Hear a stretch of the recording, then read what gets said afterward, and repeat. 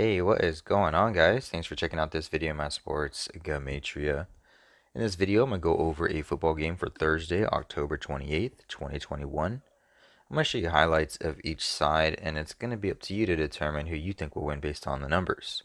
I encourage you to add additional information on top of this if needed for you to feel confident in your own pick.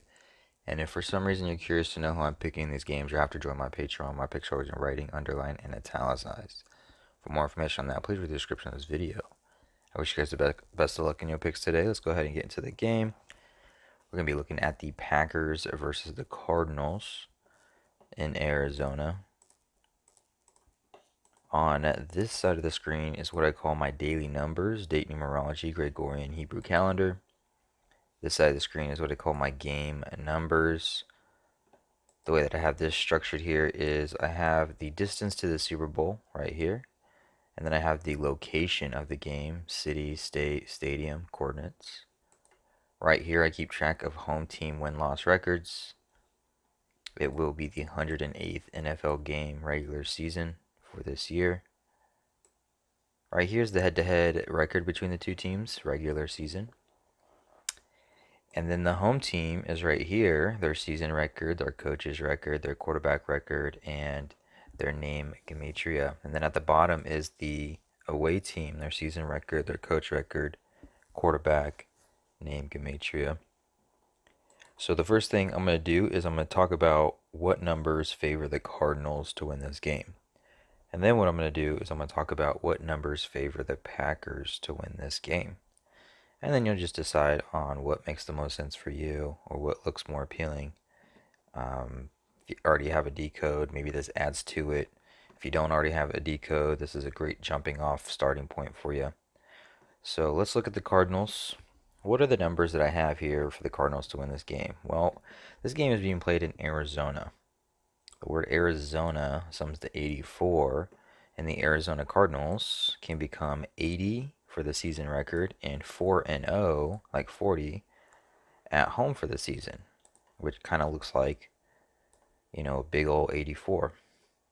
So there's potential there. On top of that, this is the Cardinals coach's 40th game for his career regular season, along with the quarterback's 40th game uh, regular season for his career. The number 40 sums to 84. Arizona, 84. They could become 80, 40, and then they would also become 4 0, like 40 at home to make the 80 and the 40. The Cardinals coach, it's 80 days or total span of 81 days since his birthday. 80 days since his birthday and his 40th game. Cardinals could become 8 0, like 80, 4 0, like 40 at home, 84 in Arizona, 84. And the number 40 also sums to 84 but it's 80 or a total span of 81 days since his birthday. The word cardinals sums to 81. If we write out the number 81, we find that it sums to 108. It's the 108th NFL game for the regular season. Specifically in Arizona, we are in Glendale, Arizona, which sums to 81 and it's also 108 days till the upcoming Super Bowl on February 13th. Aaron Rodgers for the Packers, he can sit on 132 wins regular season for his career with the loss 132 213 108 days till the 13th of February the Super Bowl this being the 108th NFL game of the season in Glendale, Arizona, 81. 81 sums to 108. 100 or the excuse me 80 or total span of 81 days since the Cardinals' birthday, coach's birthday. The word Cardinal sums to 81. 81 sums to 108 and 54. 108 and 54. 108th NFL game. Home teams, if with the Cardinals win, would become 54-54 for this season Also on the uh, Gregorian, it'll be 59 date numerology, 59 sums to 108, and 54 as well. Uh, and I think that's it for the Cardinals for right now.